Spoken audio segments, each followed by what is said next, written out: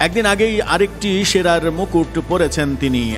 একদিন পরেই আবারও তার কাছে আরেকটি সুখবর। এবার উয়েফার বর্ষসেরা হয়ে গেলেন এবং লিওনেল মেসিকে হারিয়ে হাল্যান্ড যেন নতুন এক ইতিহাসই তৈরি করলেন। দু হাজার বাইশ তেইশ মৌসুমটা ছিল আসলে আর্লিং হালান্ডের ম্যানচেস্টার সিটির হয়ে জিতেছেন ট্রেবল। গোল করেছেন নিয়মিত। সব মিলিয়ে গোল তার বাহান্নটি। আর তাতেই উয়েফার বর্ষসেরার পুরস্কার তার যে হবে সেটা অনুমেয় ছিল। শেষ পর্যন্ত সেটাই হয়েছে। লিওনেল মেসি এবং ডি ব্রুইনাকে হারিয়ে সেরা হয়েছেন এই স্ট্রাইকার। গত মৌসুমটা গার্দিওলা এবং হালান্ডের জন্য ছিল সব থেকে স্পেশাল। ম্যান সিটির কোচ হয়ে আসার পর সবচেয়ে সেরা মৌসুম কাটিয়েছেন বার্সার সাবেক কোচ। সেই সঙ্গে তাদের গোল মেশিন খ্যাত হালান্ডও আলো ছড়িয়েছেন মেসি এবং রোনালদো পরবর্তী যুগে। হালান্ডের এই অর্জনের মধ্য দিয়ে নতুন যুগের সূচনাই হয়েছে। হয়তো নতুন মৌসুমেও সেরাদের কাতারে থাকবেন তিনি।